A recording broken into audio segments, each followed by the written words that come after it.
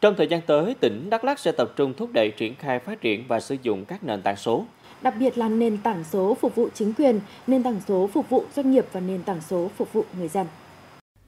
Để đạt được mục tiêu đề ra, Ủy ban nhân dân tỉnh Đắk Lắk đã giao Sở Thông tin và Truyền thông chủ trì phối hợp với Sở Kế hoạch và Đầu tư, Hiệp hội Doanh nghiệp tỉnh, Hội Doanh nhân trẻ hướng dẫn, đôn đốc các doanh nghiệp tích cực chủ động tham gia chương trình hỗ trợ doanh nghiệp nhỏ và vừa, chuyển đổi số theo quyết định số 377 ngày 26 tháng 3 năm 2021 của Bộ Thông tin và Truyền thông và các nội dung do Bộ Kế hoạch và Đầu tư chủ trì.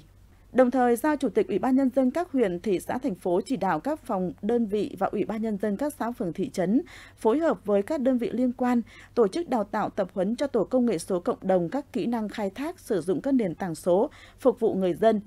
chỉ đạo các tổ công nghệ số cộng đồng hướng dẫn thúc đẩy mọi người dân sử dụng nền tảng số được công bố tại địa chỉ https 2 2 gạch chéo công dân số mic gov.vn